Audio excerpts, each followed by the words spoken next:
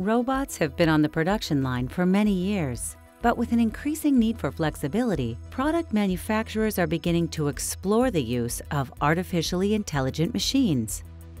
Maybe 10 years ago, we had big lines that never changed. It was really mass production. Now, we are looking uh, for flexibility, and if the machine can adapt to the piece of product that is entering the machine and evolve and get the right behavior, then you will get the maximum flexibility.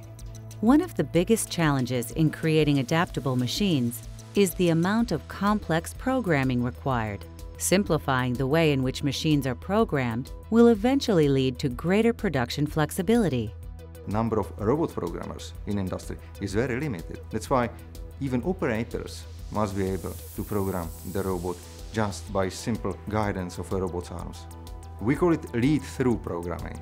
You don't need to know anything about the programming language. Simply use your arms and by your arms you guide the robot arms by very simple application. It's very easy to create program in a couple of minutes.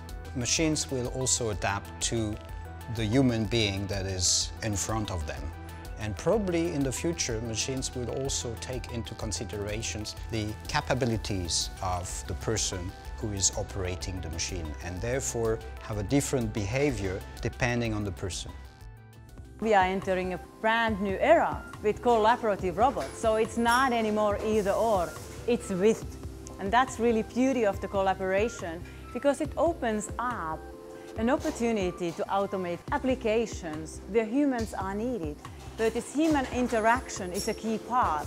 And this opens up brand new doors to use robotics in applications what we couldn't automate before.